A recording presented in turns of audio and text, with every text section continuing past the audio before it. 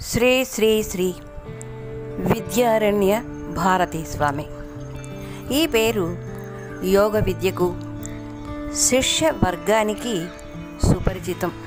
వారికి ఆది వ్యాధులు ఏ రకమైన సమస్యలు ఎదురైనా శిష్య వర్గాన్ని కన్న తల్లిలాగా కల్పవృక్షంలాగా ఆదుకునే మంచి గురువు వేరు. వీరి అసలు పేరు శ్రీ బసవ వరప్రసాద్ గారు.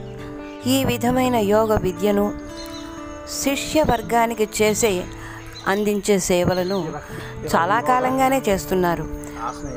మీకు ఇంకో ఆశ్చర్యకరమైన విషయం చెప్పాలి.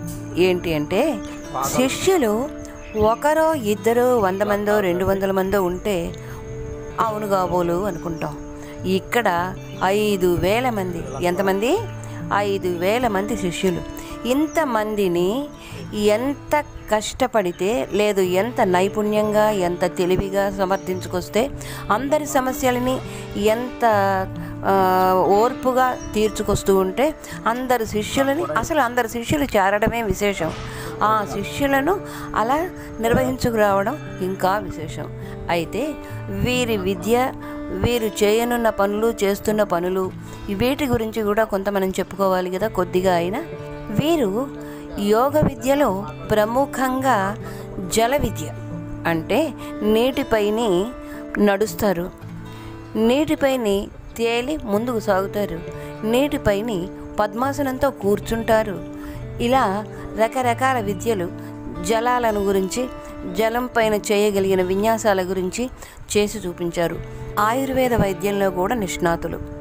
అవసరమైతే ఎంత కష్టం ఎంత ఇదైనా ఓర్చుకుని సమయాన్ని వినియోగించి శిష్యులను శిష్యులననే కాదు ఆయన అభిమానులను ఎవరైనా సరే రోగులను ఆదరించి వారి ఆది వ్యాధులను నివారించి తగిన ఓదార్పును అందించి సంతోషంగా చిరునవ్వు ముఖాలతో వారు వెళ్ళేలా ఆదుకుంటారు. ఇది ఆయన గొప్ప విశేషం. ఇంకా ఇక్కడ చెప్పుకోవలసింది ఆయన జన్మించిన చిత్రాడ.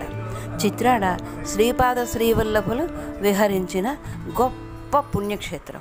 ఎన్- ఇంతకు శ్రీపాద శ్రీవల్లభులు ఎవరు అంటారా? ఆయన శ్రీదత్తుల తొలి అవతారం. తూర్పుగోదావరి జిల్లా పిఠాపురంలో ఆయన వెలిశారు. పుట్టారు. వెలియడం కూడా కాదు. అక్కడ పుట్టి అక్కడ విహరించి చిత్రాడలో కూడా విహరించి ఆ క్షేత్రానికి క్షేత్రత్వాన్ని ప్రసాదించిన స్వామి ఆయన. అటువంటి చోట పుట్టారు. ఇంటి పేరు చూద్దామా? బసవ ప్రమథ గణాలలో నందీశ్వరుడు. అంటే బసవ నందీశ్వరుడు. ఇద్దరు ఒకటే. అటువంటి ఇంటి పేరు ఇటువంటి పేరు ఈ కృషి ఇవన్నీ ఆయన్ని ఇంకా సన్మార్గంలో భారతదేశానికి భారత జాతికి మార్గదర్శకులుగా నిలబెడుతుందని ఆశిద్దాం.